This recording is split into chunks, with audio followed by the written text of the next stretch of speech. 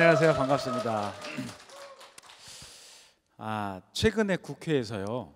어, 법령을 하나 새로 제정을 한다는 소식을 제가 들었어요. 그 법령이 뭐냐면 자존심 손상죄라는 법령이 있다는 거예요. 예사롭지 않죠?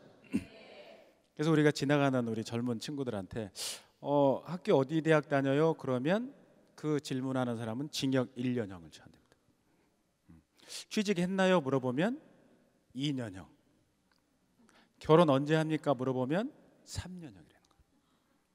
근데 우리 아- 아빠들이죠 어르신들 아, 펑퍼지만 본인 부인한테 한 5, 60대 부인한테 오 몸매 멋지다 하고 얘기하면 그런 아부하는 사람은 종신형을 처한답니다. 그래서 지금 자존심 때문에 우리가 많이 상처받기도 하고 어, 남을 상처 주기도 하는데 이 자존심이 우리가 해석을 약간 잘못하는 측면이 있어. 요 오늘 제가 그 얘기를 좀 해드릴 건데 요즘도 어, 많이 있습니다. 옛날에는 훨씬 더 많았는데요. 그 여러분 노숙하는 분들 있죠. 그분들이 옛날에는 남들이 볼 땐 야 저 사람 대단했어. 그렇게 잘 나갔던 분들이었을 거예요. 근데 인생에 이런 살다 보면 우여곡절이 다 있거든요.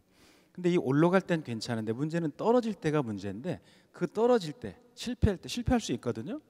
그때 이 사람들도 어, 우리 보통 사람처럼 일하고 막노동하면 어때요? 근데 그렇게 올라갔던 사람들은 막노동한다는 그 자체를 삶의 바닥으로 인식을 하기 때문에 그걸 못하는 거야. 그게 자존심이에요. 이게 굉장히 심합니다. 그래서 그걸 잊으려고 하다 보니까 술을 마시게 되고 그럼 나중에 알코올 중독이 빠지는 거예요. 음. 그 직장 다니다 그만둔 사람들도 굉장히 심각한 문제가 이 자존심의 문제입니다. 그래서 오늘 제가 아, 드리는 이 말씀은 여러분한테 제가 부탁을 하나 드릴 거고요. 주문을 두 개를 드릴 거예요. 부탁은 뭐냐면 오늘 강의를 들으시고 이 얘기를 꼭 여러분의 자녀분들한테 해주세요. 우리가 좀 더 일찍 이걸 알았어야 돼. 이 자존심과 자존감이 뭔지를. 그 주문 두 가지는 뭐냐면 여러분 자신한테 질문을 해보는 거예요. 나는 지금까지 인생을 살아오면서 자존심과 자존감에 대해서 얼마나 고민을 했는지, 어떤 가치를 갖고 살아왔는지를 질문을 해보시고 두 번째 주문은 우리가 이제 앞으로 살아가야 될 거 아닙니까? 내가 앞으로 살아가야 되는데 나는 어떤 자존감을 갖고 살아가야 될지 그 질문을 하면서 오늘 강의를 들으시면 우리 인생에도 도움이 되는 그런 강의를 좀 해드릴 겁니다. 자 준비 되셨어요? 그래서 오늘 제 강의 두, 꼭지가 두 개입니다. 이 두 개의 차이 여러분 잘 개념이 아직 없으실 텐데 그 다음에 자존감을 강화시키는 방법에 대해서 말씀을 드릴 겁니다. 요즘 우리 아이들도요 굉장히 심각한 문제가 뭐냐면 대학 졸업하고 어, 회사를 들어갈 때 경쟁률이 29대 1을 뚫고 들어가요. 굉장히 힘들죠. 근데 그렇게 들어간 친구들이 1년 안에 회사를 그만두는 확률이 28%예요. 그러니까 10명 중에 거의 3명이 1년 안에 회사를 그만둬. 그 이유가 뭐냐면 분석에 의하면 적응을 못 한다고 보는데 제가 볼 때 상당수는 자존심 때문에 그래요. 여러분 아이들 어떻게 키워요? 대부분 하나죠. 거의 황태자처럼 키운단 말이에요. 모든 걸 엄마가 다 해주잖아요. 음, 그렇게 크고 심지어 어떤 경우는 저는 그런 경험은 못 해봤는데 대학생이 수강 신청을 엄마가 하는 경우가 있다는 거예요. 그 친구들이 회사에 들어가면 회사 회식하는 날 엄마가 그 팀장한테 전화를 한대요. 우리 아들 회식해서 빼주라고. 그래서 엊그제 뭐 신문 보셨겠지만 어처구니 없는 신문을 제가 또 봤는데 그 군대에서요 전방에서 이 지뢰 매설된 거를 제거하는 작업을 하는데 그 군인 아닙니까? 지휘관이 군인의 부모한테 연락을 했다는 거예요. 이 아이를 지뢰 제거하는 쪽에 투입해도 될까요, 말까요? 말도 안 되는 거죠. 근데 저도 그 신문 기사를 보면서 속으로는 그, 그런 생각했어요. 야 무슨 이런 지휘관이 다 있냐 생각을 했는데 그 이면을 보니까 그, 그 아이의 엄마들이 그 지휘관한테 오죽했으면 그럴까라는 생각이 드는 거예요.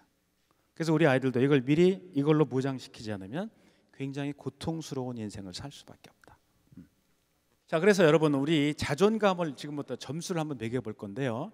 아, 여러분 빨리빨리 그냥 많이 고민하지 마시고 빨리빨리 응답을 찾아야 정답을 맞출 수가 있는데 제가 10개의 질문을 드릴 거예요. 그래서 이 볼펜으로 딱 점수를 한번 매겨 보세요. 자, 하나씩 가 볼게요. 나는 다른 사람만큼 가치가 있는 사람이다. 난 전혀 아니야. 1점. 난 완전 그래. 4점. 그 중간엔 2점과 3점이 있겠죠? 자. 2번. 나는 어떤 결정을 내릴 때 별 어려움이 없이 결정한다. 자, 계산하시죠? 나는 좋은 장점을 많이 갖고 있다. 나는 일을 할 때 다른 사람만큼은 해나갈 수 있다. 머리를 막 흔드네요, 이분은. 나는 행복한 사람이다. 나는 나 자신을 잘 안다. 나는 쉽게 포기하지 않는 사람이다. 나를 좋아해 주는 사람이 많다. 나는 스스로에 대해서 긍정적인 태도를 갖는다. 완전 그러면 4점이에요. 난 전혀 아니야. 1점. 자, 마지막. 나는 현재의 내 일과 나의 모습에 만족한다. 자, 점수를 매겼으면 쭉 합계를 대략 한번 내보세요. 쭉. 자, 내셨어요? 오케이. 자, 30점 이상 되신 분 손 들어 보세요. 와, 거의 반 정도 되시네요. 이분들은 자존감이 아주 높은 분들입니다. 아주 높은 분들. 20점 이상 손 들어보세요. 오케이. 이분들 보통인 분들 자존감. 혹시 19점 이하? 아, 저분은 자존감이 약간 낮은 상태입니다. 그래서 우리가 평균적으로 이렇게 점수를 내보면 내가 평균은 20점 이상, 30점, 어떤 분은 40점 되는 분들이 있어요. 그분은 자존감을 넘어서 거의 자만심 정도 가는데 대단한 자기 만족이 있는 사람들이죠. 이렇게 좀 볼 수가 있어요. 근데요, 자존감이 높은 사람이 있고 낮은 사람들의 특징이 있는데 자존감 낮은 사람들의 특징은요, 다른 사람을 의식합니다. 내가 이렇게 하면 제가 널 어떻게 볼까? 내가 부탁하면 우습게 보지 않을까? 이런 경우들이에요. 그리고요, 자신 스스로를 무능력하게 생각해. 난 안 돼. 내가 전부터 해서 된 게 없었어. 이런 경우들이에요. 세 번째는 화를 내고 자주 싸워요. 주변 사람들한테. 음. 그리고 네 번째는 다른 사람의 영향을 많이 받습니다. 그리고 타인 의존적이 돼. 자기 주관이 없으니까. 이게 자존감 낮은 사람들의 특징이에요. 자, 자존감 높은 사람들은요. 타고난 성향을 있는 그대를 받아들여. 그걸 존중해. 난 원래 이런 사람이야. 남들보다 비교 안 하거든 이 사람들은. 난 이래 원래 나 이래. 이걸 비하한다는 건 아니에요. 난 원래 그래. 그 다음은 나한테 없는 것을 부러워하지 않아요. 우리 많은 이유가 여기서 생기는 거 아시죠? 나한테 없는 걸 부러워해. 그러니까 부러워하는데 내가 갖지 못하면 상실감을 느끼는 거예요. 가질 필요가 이럴 필요가 없는데. 세 번째, 부족한 점은 개선하려고 노력해요. 여기서 만족하는 건 아니야. 어, 난 이게 부족하네. 내 노력해. 근데 자존감 낮은 사람들은 노력하지 않죠. 그걸 비난만 해. 남을 비난하고 자신을 비난하거든. 높은 사람들의 마지막은 있는 그대로의 모습을 딴 사람들이 나를 좋아하길 원해. 있는 그대로. 이게 자존감 높은 사람들의 특징이에요. 그러니까 아까 봤을 때 자존감 낮은 분, 아까 손 드셨던 분, 그분은 이런 쪽을 좀 지향하면 좀 수정될 수가 있겠죠. 자, 우리 옛날 말이에요. 여러분 아마 그 공자님 말씀 이런 얘기 들어봤죠? 옛날에 어르신들은 얘기를 자주 하셨어요. 자, 왈 이렇게 하거든. 공자께서 말씀을 하실 때 그 논어라는 책의 첫 번째 나오는 게 이 대목이에요. 하기 시습지 불역 열로. 이 배우고 때로 익히면 즐겁지 아니한가. 이 하기 시습이 뭐냐면 때때로 익힌다는 소리예요. 시습하라, 시습하라. 그래서 우리 옛날 어르신 중에 김시습 아세요? 그분 여기서 이름을 따온 거예요. 그 다음 나오는 게요. 유붕자원 방래하니 불영 낳고라. 그러니까 멀리에서 친구가 찾아오면 어찌 기쁘지 아니한가. 근데 세 번째가요. 인부지 이불온 불역 군자오라는 게 있어요. 이게 무슨 얘기냐면 남들이 나를 알아주지 않아도 노여하지 않으면 어찌 군자라 하지 않을 수 있겠느냐 이거예요. 근데 우리 문제가 뭐냐? 남들이 나를 알아주지 않으면 거기에 열이 나는 거야. 내가 이런 사람인데 니들이 날 몰라줘 이것 때문에 이게 자존감 낮은 사람들의 특징이에요. 어. 그래서 우리 보통 식당이나 이런 데 가면 그냥 우리 이렇게 앉잖아요. 근데 조금 뭐 자기 생각에 내가 좀 남들이 알아주는 사람이야 그런 사람들하고 같이 식당에 가보면요. 우린 자리에 딱 앉는데 그 사람들은 식당에 들어가서 좌중을 둘러봅니다. 왜? 누가 나 알아보고 인사하는 놈 없나? 그걸 보려고. 남들이 나를 알아주지 않아도 노여워하지 말아야 돼. 중요한 건 누구예요? 나야. 남이 아니야. 노여워하면 뭐가? 자존감이 낮은 사람들이죠. 자, 그러면 우리 주변에 보면 왜 다른 사람들은 그렇게 하는데 내가 못하는 경우 있어요. 도전도 못하고 하다가도 포기하고 특히 우리 젊은 친구들 아까 말씀드렸지만 어렵게 회사를 들어가는데 그만두고 나오고 그리고 우리 아빠들도 마찬가지예요. 내가 뭔가를 해야 되는데 남한테 부탁하려니 자존심 상한다고 속상해하는 거야. 못하는 사람들 많아요. 그래서 그 이유 중에 90%가 자존심 때문에 그래요. 그래서 오늘 제가 요거를 분석을 좀 해드릴 텐데 오늘 강의 중에 최고의 핵심입니다. 꼭 기억하셔야 돼요. 자, 이 자존심의 정의예요. 같이 한번 읽어볼까요? 시작. 남에게 굽히지 않고 자신의 품위를 지키려는 마음. 자, 이 자존심의 주인은 누구예요? 나? 그게 잘못 알고 있었어요. 내, 내가 아니야. 여러분이 잘못 알고 있었던 거예요. 자존심의 주인은 남이야. 왜? 기준이 남이에요. 저 사람한테 굽히지 않고야. 대상이 저 사람이야. 내가 아니야. 그 반대 개념, 완전한 반대 개념이 자존감이에요. 자존감의 정의 읽어보세요. 시작.